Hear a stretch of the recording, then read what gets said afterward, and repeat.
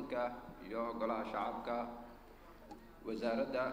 iyo dhammaan howlwadeenada iyo warbaahinta waa mahadsan yihiin. Marka ugu horeysa waxaan u mahad celinayaa guddiga runtii shaqada adag uu ka qabtay sharcigan iyo sida u soo diyaariyey iyo dadaalka badan uu ku bixiyey.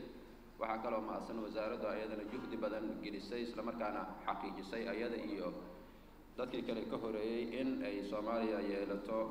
habo maamulkeedu madax bannaan yahay waxaan sakin garanayaa walaalkii jankali guddigan marka ugu horeysa waa guddi maamuleed. Ma ahan guddi dastuuria ma ahan. Marka guddiyo badan oo halkan laga ansixiyey muxuu ahaa aanan marin habraacyada hadda sida loo soo jeeda sida guddiga gaarsiinta oo kale ayaa ka mid ah labo sharcigan wuxuu ku fadhiyaa qaabka ay u soo gudbisay wasaaradda qaab international ah oo standard ah ayuu ku fadhiyaa oo caalamka markaad fiiriso. Ilaa iyo heerkaas muxuu ahaa baarlamaan iyo madaxweyne waxaa weeyaan lama gaarsiiyo. Waxaa kaloo talo ku lahaa qareeno caalami ah ayaa talo ku lahaa muxuu ahaa guddigan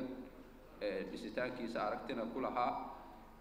soo jeedinta akhrinta koowaad iyo akhrinta labaad laftirkeeda waxay ila tahay inaanay jirin aragti badan ama soo jeedin badan oo xildhibaanada ka timid oo quseeya guddigaas. Marka guddigan dhisitaankiisa waxaan rajeynayaa xildhibaanada inaanu aragno guddi oo muxuu ahaa qaran uusan ahayn guddi qof guddi qaran oo la rabo waxaa weeyaan inuu dalkan oo dhan badbaado u noqdo.